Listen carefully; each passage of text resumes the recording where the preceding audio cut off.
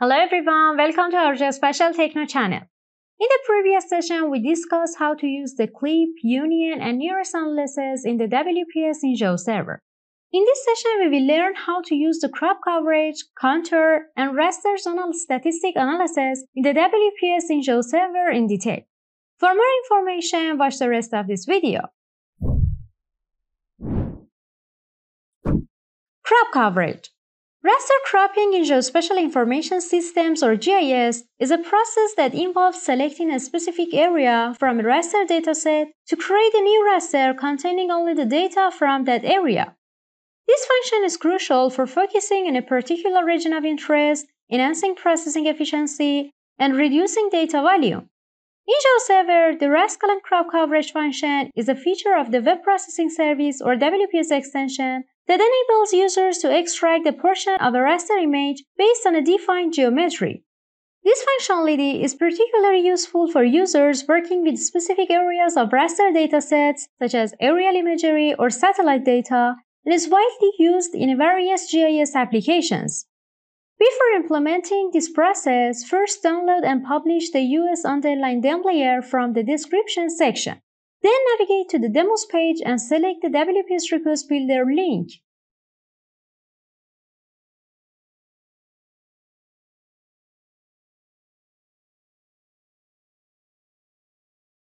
Select RAS colon crop coverage from the Choose Process drop-down menu.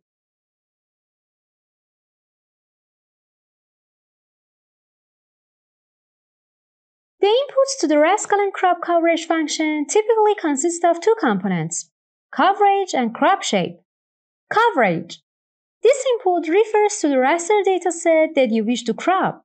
You can specify it by referencing the raster data in a format such as GeoTIFF. For this function, select WPS colon US underline dem as the raster layer for the coverage input.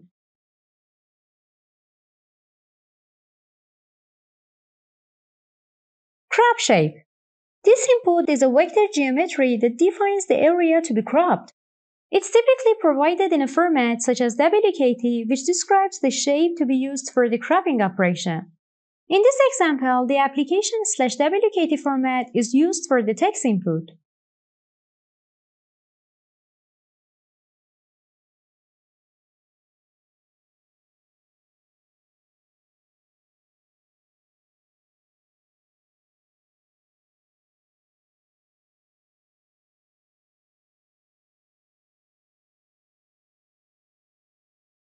The resulting output is a crop raster image written in several formats including image slash TIFF, PNG, JPEG, and application slash ArcGrid. It will contain only the portion of the raster defined by the crop shape geometry. Select the image slash TIFF format from the Generate section, then press the Execute Process in New Page button. Once the process is complete, you can view the result in the QGIS or ArcGIS software.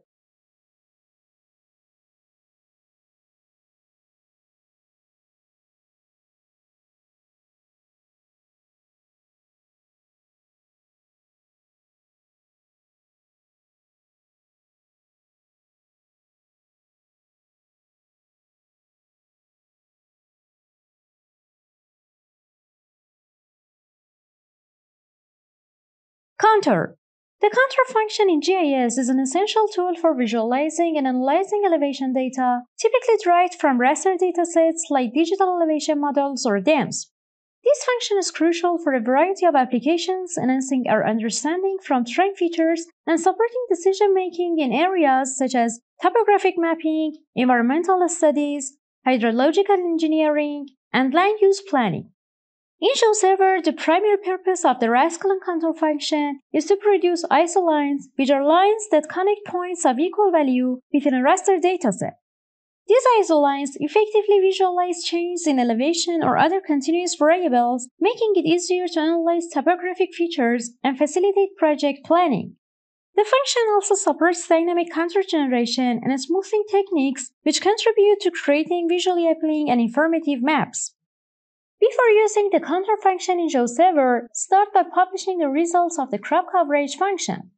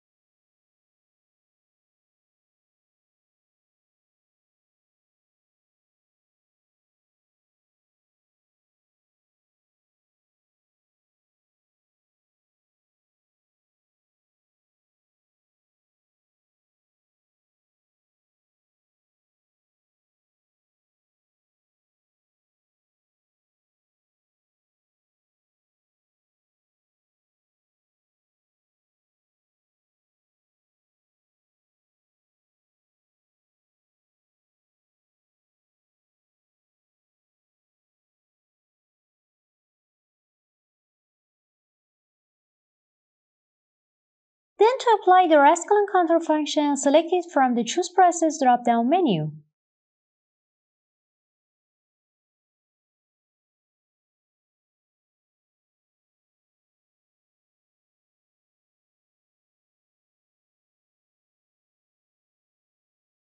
The input parameters for this function are data, band, levels, interval, simplify, smooth, and ROI.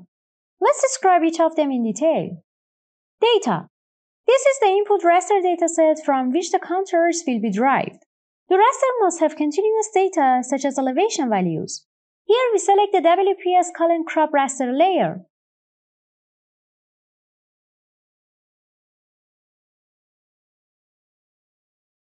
band.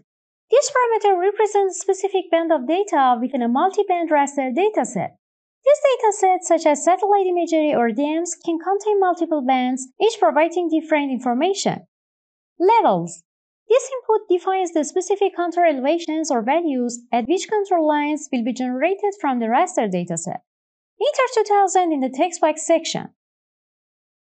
Next, select the application slash zip format from the process output section and press the execute process in new page button.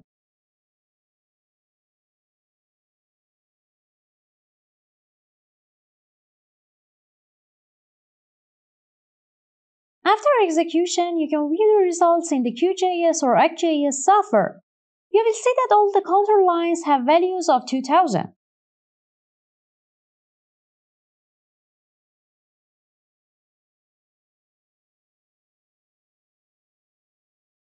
Return to the GeoServer software to explain the other parameters.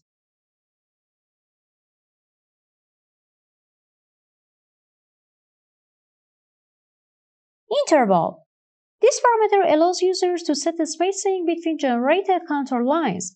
For instance, a 250 meter interval produces lines at elevations such as 0, 250, 500, and so on.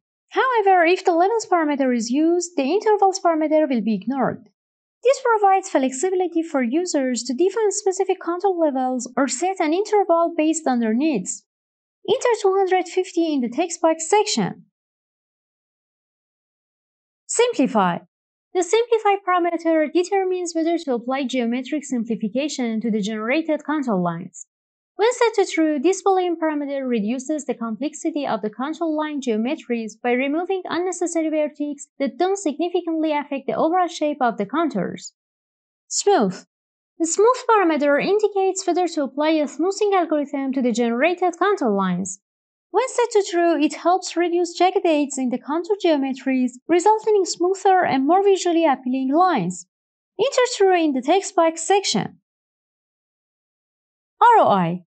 The region of interest or ROI parameter defines a geometric shape that specifies the area within a raster dataset from which contour lines are generated. This allows users to focus on the contour analysis on a specific subset of raster, improving efficiency by processing only the relevant portion of the data. Select the application slash zip format from the process output section, then press the execute process in new page button. Once the process is complete, you can view the results in the QGIS or ArcGIS software.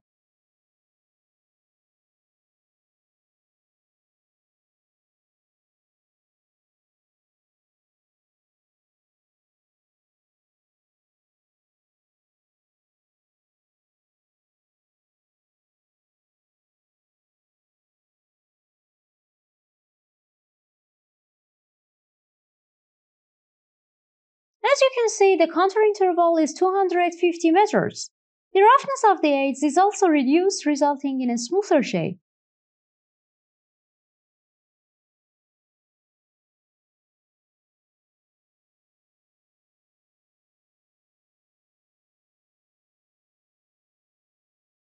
If you're enjoying the video, I would really appreciate if you subscribe to my channel, like the videos and share it with your friends. This will help you and others to improve your skills and benefit from these valuable resources. Thank you for your support. Zonal statistics. The zonal statistics function in GIS is a powerful tool for computing various statistics based on raster dataset within specified zones. These zones can be created using vector data, enabling comprehensive spatial analysis for a variety of applications including resource management, agriculture, and urban planning.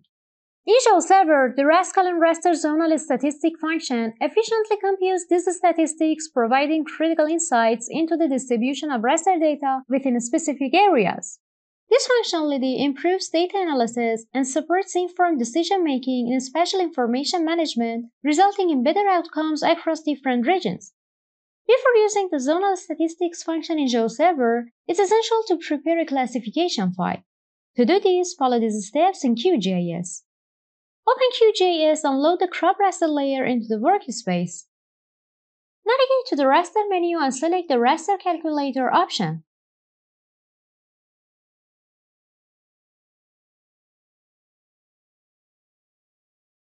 In the raster calculator, create an expression to classify the raster values.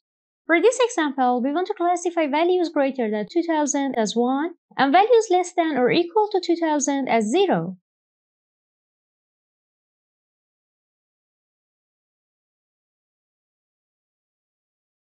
Replace the crop at someone with the actual name of your raster layer. Specify the name and destination for the resulting classified raster file. For this example, save the file as classification.tif.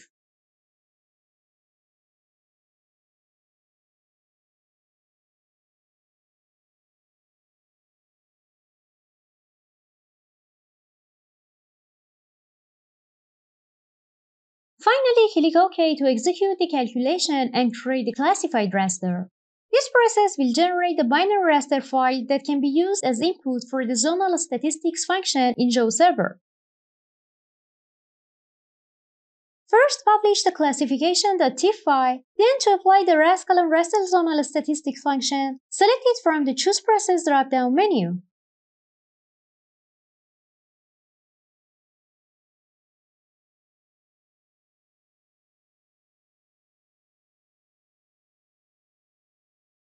The input parameters for this function include data, band, zones, and classification.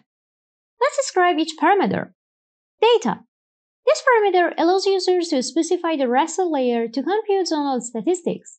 For this function, you can use four types of input, text, reference, subprocess, and raster layer, where raster layer is the default option. Select WPS colon crop layer as the input parameter. Band. This input refers to the specific layer or band of data within a multi-band raster dataset that the raster zonal statistics function will analyze. Zones. This parameter specifies the region for which statistical calculations should be performed based on different geographic boundaries. For this example, select the text mode and the application slash JSON line type. Then copy the contents of the zones.json file into the text box section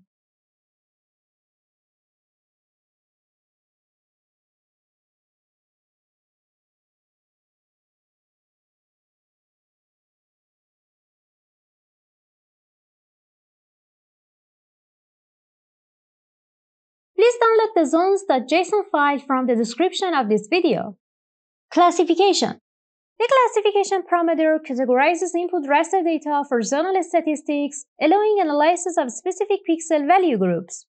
This enhances insights and interoperability for targeted categories such as land cover or elevation.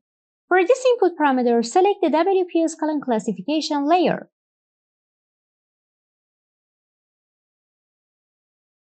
Select the application slash JSON format from the process output section. Then press the execute process in new page button.